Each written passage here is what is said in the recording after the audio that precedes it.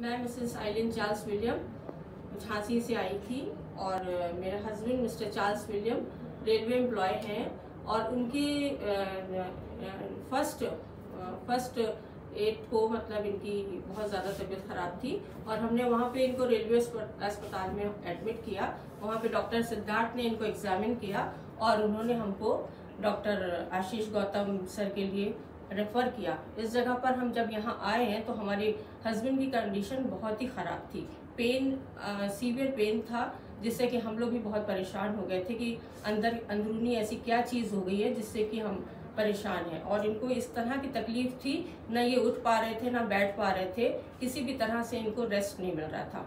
और जब हम यहाँ पे सवा आठ बजे रात में पहुँचे हैं झांसी से तो फ़ौरन हमको मेडिकल केयर मिली।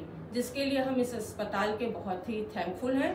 और within five minutes doctor Ashish Gautam sir हमारे हस्बैंड को चेक करने के लिए आए और उन्होंने हमको बहुत ही आराम से मतलब दिलासा दिलाया कि आप जैसे भी हैं, आए हैं, यहाँ पे हॉस्पिटल में हमारे, हम इनकी केयर करेंगे। और जो भी आगे की प्लानिंग्स होगी, अगर सर्जरी सर्जरी करनी होगी तो मैं सर्जरी कर हुआ। और रिपोर्ट्स आई तो हमको पता चला कि इनका गॉल ब्लैडर जो था बहुत स्पॉयल हो चुका था गैंग्रिंग थी और सेप्सिस टाइप की कुछ ऐसी प्रॉब्लम थी, जिसका कि इलाज हमको वहाँ पर डायग्नोज झांसी में नहीं हो पाया था। और मैं बहुत थैंकफुल हूँ डॉक्टर की, मैं उनकी, उनको गुड विशेष देती हूँ और ये सोच, चाहती हूँ कि आने वाले समय में जितने भी पेशेंट वो जिस पेशेंट पे भी हाथ रखें, वो ब्लेस्ड हो और क्योर होकर के यहाँ से जाएँ।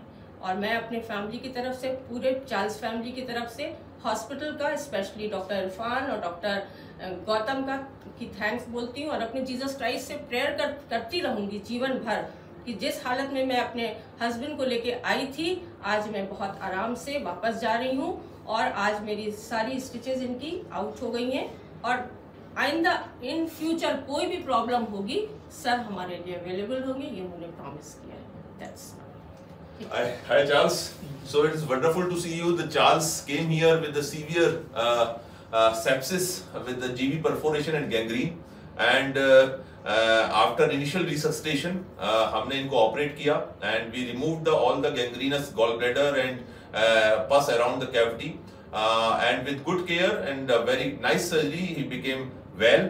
And बहुत अच्छे हो गए काफ़ी गंभीर हालत में आए थे।